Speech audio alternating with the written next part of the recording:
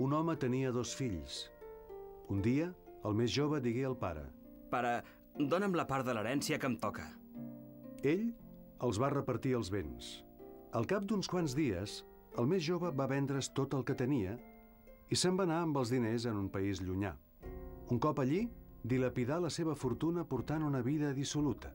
Quan s'ho hagué malgastat tot, vingué una gran fam en aquell país i començà a passar necessitat. Llavors, es va llogar a un propietari d'aquell país que l'envià als seus camps a pasturar porcs. Tenia ganes de tipar-se de les garrofes que menjaven els porcs, però ningú no li'n donava.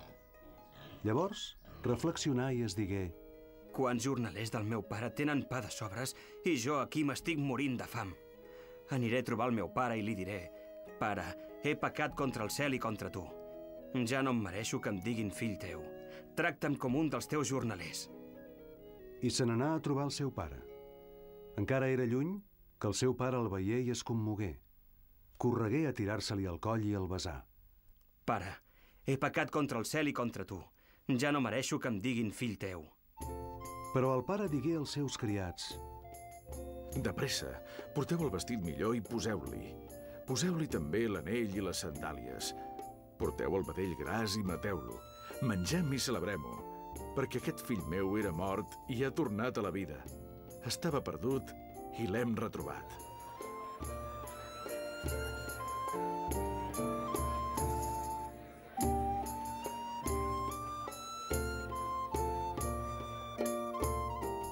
Mentrestant, el fill gran era al camp. Quan de tornada s'acostava a la casa, va sentir músiques i balls i cridar un dels criats per preguntar-li què era allò. El teu germà ha tornat. El teu pare l'ha retrobat en bona salut i ha fet matar el vedell gras. El germà gran s'indignà i no volia entrar. Llavors, el seu pare va sortir i el pregava.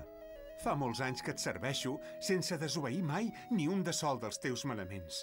I tu encara no m'has donat un cabrit per a fer festa amb els meus amics. En canvi, quan ha tornat aquest fill teu després de consumir els teus béns amb prostitutes, has fet matar el vedell gras. Fill, tu sempre ets amb mi. I tot el que és meu és teu. Però calia celebrar-ho i alegrar-se, perquè aquest germà teu era mort i ha tornat a la vida. Estava perdut i l'hem retrobat.